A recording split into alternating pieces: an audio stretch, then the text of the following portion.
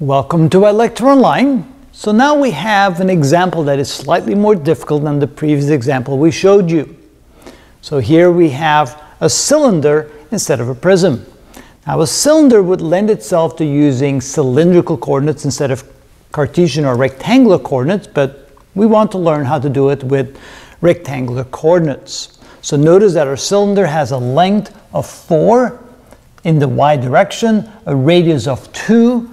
Notice that it's a circular cylinder, not elliptical cylinder, so that the direction in the x direction and in the z direction, those units are the same, 2 in each direction, essentially the radius of the cylinder.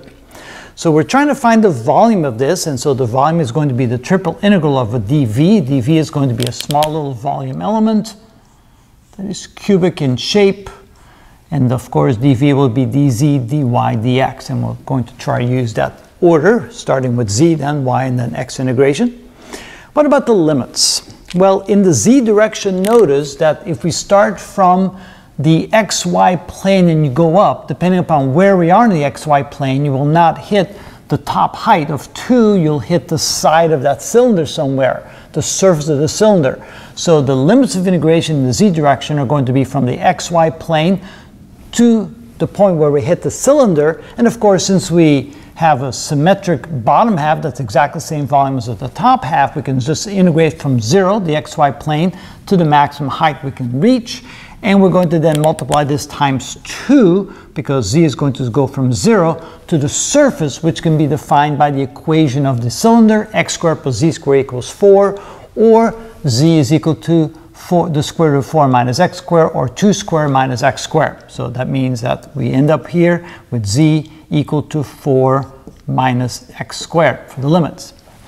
Now once we've limited ourselves with the surface, notice that now when we integrate in the y direction, we're going to all the way from 0 to 4. There's no restriction there at all, so y will be from 0 to 4. And in the x direction, since we already limit ourselves by the surface, which is the same all the way around, we're going to integrate from 0 to 2, the maximum value that x can be for the limits for x. So we only have one limit that is a function of the other variable, uh, the other ones are simply constant limits.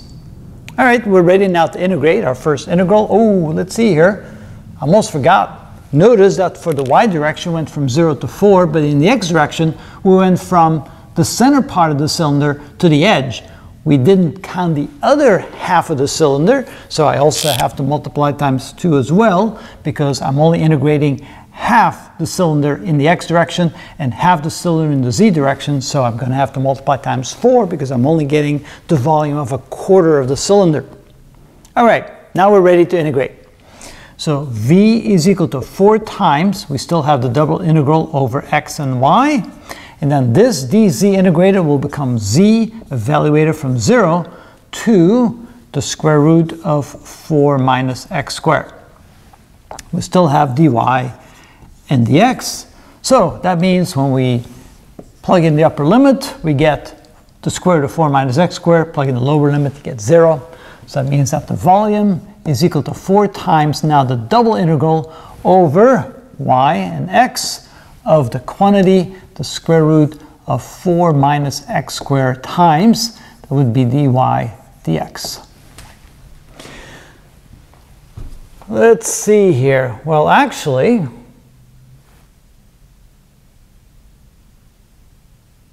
since I have an x in here, it would make sense that I integrate over x first before I integrate over y because I have an x in there. So I'm going to reverse the order of these two. So make that an x, make this a y. The order doesn't matter. So let's make this uh, an x and make this a y. So I'm going to integrate over x first. That makes more sense here because I end up with the variable x after I plug in my limit. So that's typically why you decide the order now notice that this has the same format as this. So we're going to integrate and get this result. So we end up with volume equals 4 times the single integral over the y direction. We'll do that later. y will be from 0 to 4. And in the x direction, we end up with this. So we end up with x times a squared. Well, a squared in this case would be 4. So that would be 4 minus x squared to the 1 half power divided by 2 and then plus a squared, which is 4 divided by 2 times the inverse sine of x over a. a would be 2, like this. And that's going to be evaluated from, well, in the x, we're integrating over x, that would be from 0 to 2. All right. We still have our dy, because that's for our last integral right there. Okay, and we probably want to put brackets around it because uh, we want to do all of this from 0 to 2. So volume equals 4 times the integral from y equals 0 to 4 of, when we plug in the upper limit, 2 squared gives me 4, 4 minus 4 is 0, so that gives me 0 for the first term. When I plug in the upper limit, I get 2 over 2, which is 1. The, the arc sine or the inverse sine of 1 is 90 degrees or pi over 2, so I end up with plus 2 times pi over 2. When I plug in a 0 here, 0 for x, I get 0, minus 0. When I plug in a 0 here, the inverse sine of 0 is 0, so again I get 0, and a dy right here. So notice I get 2 divided by 2, which is 1, times pi multiplied times 4, so volume equals 4 pi times the integral from y equals 0 to y equals 4 of dy. That's an easy integral the integral of dy is simply y, so we get 4 pi times y evaluated from 0 to 4, which is going to be 4 pi times 4, or with other words, the volume equals 16 pi. So that's the volume of that cylinder. Now let's do a quick check, because it's a cylinder, and we know that the volume is going to be equal to the area of the base times the height. The area of the base is pi r squared times the height. And so that would be pi times the radius is 2 squared times the height, which is 4.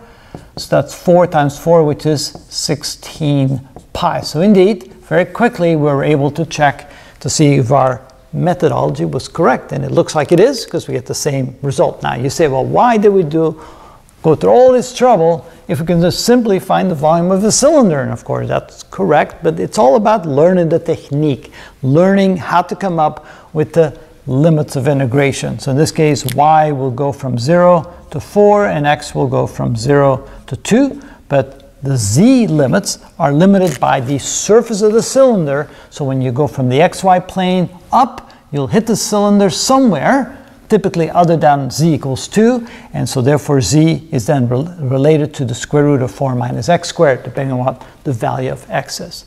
So that is how we find the limits, and that's how we do triple integration.